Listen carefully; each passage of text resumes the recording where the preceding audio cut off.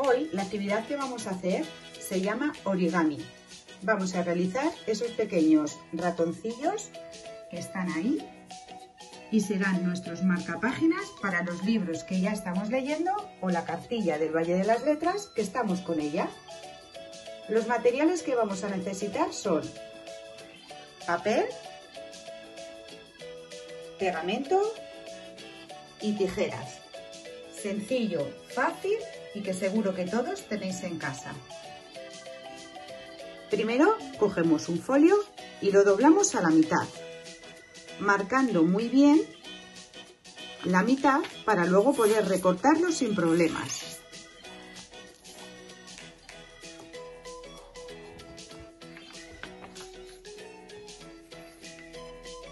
Lo partimos con mucho cuidado a la mitad. Nos podemos ayudar de nuestras manos o utilizando la tijera como prefiráis.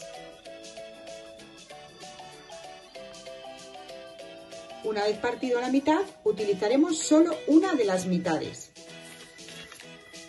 Ponemos el folio en horizontal y cogemos la esquina inferior y la subimos hasta que llegue al borde superior. Marcamos muy bien la doblez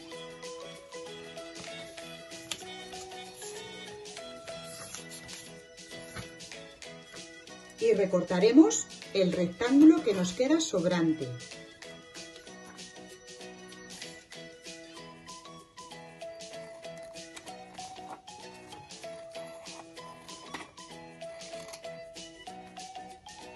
Ahora con lo que vamos a trabajar es con la parte de folio que tiene forma de rectángulo. Cogeremos la esquina igual que antes y la subiremos hasta llegar al borde de la hoja. Marcaremos y volveremos a recortar.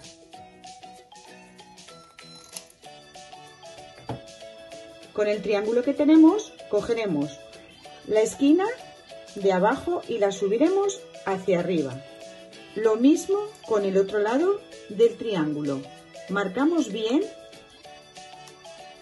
abrimos las esquinas y ahora cogeremos la esquina superior, solo la esquina superior de arriba y marcaremos abajo en el medio de los dos triángulos que se nos han formado.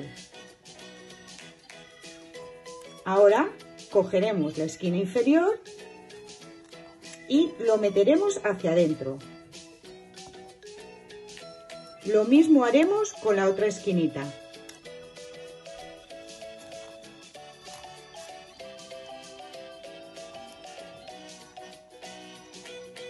Esto que acabamos de hacer lo dejaremos apartado porque vamos a hacer a continuación las orejas del ratón con el cuadrado que nos ha quedado antes. Con el papel restante lo que vamos a hacer es doblarlo a la mitad. Utilizaremos nuestro dedo pulgar para tomar la referencia de las orejas del ratón. Podéis marcarlo con el lápiz para luego poder recortar.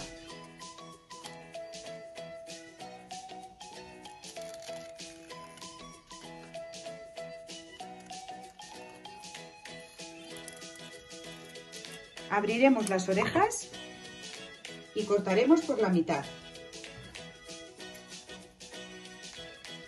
Y así tenemos las dos orejas idénticas.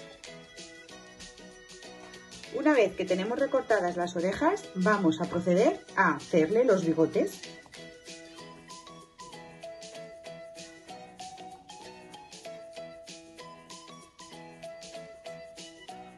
Los ojitos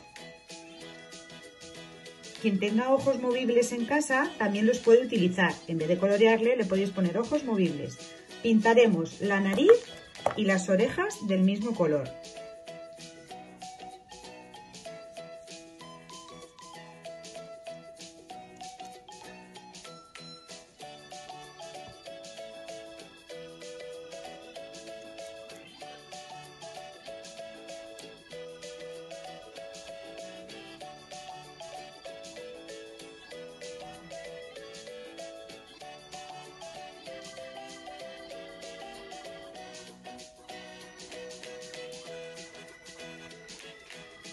Ahora cogeremos el pegamento y pondremos un poquito en la parte inferior de las orejas, por la zona donde lo hemos pintado, pero muy poquito en la parte más abajo, ¿vale?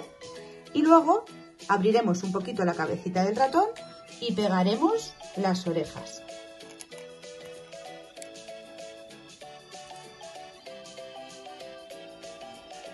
Y así es como ha quedado nuestro marcapáginas.